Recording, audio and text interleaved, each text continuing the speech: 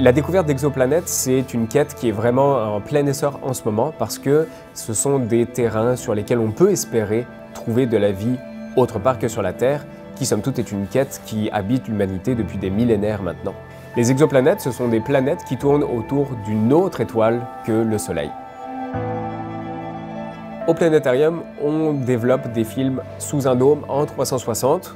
Cette année, on fait un film sur les exoplanètes. La plus grande partie du travail technique se passe dans la salle de montage. C'est là qu'il y a le plus grand nombre de personnes réunies euh, au mètre carré.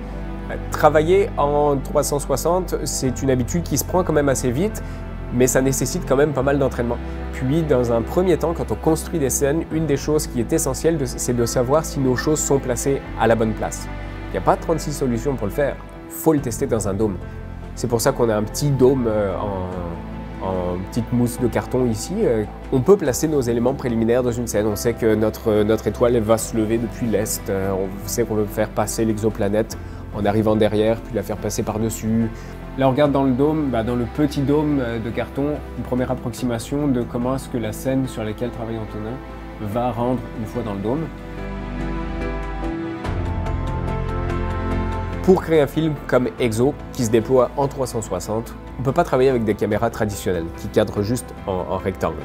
On a utilisé plusieurs techniques pour les images qui sont captées euh, avec des caméras ou des, appareils photo euh, traditionnels. On utilise des lentilles qui couvrent beaucoup plus que 180 degrés de champ.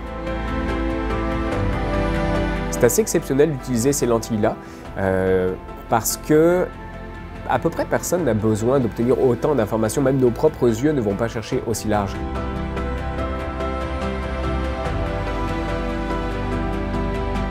Exo, c'est certain que ça va être un film magnifique qui va nous emmener dans plein de lieux différents et qui va nous inviter à avoir un regard peut-être un petit peu différent sur la vie sur Terre, puis comment est-ce qu'on la place dans un univers beaucoup plus large que notre simple planète.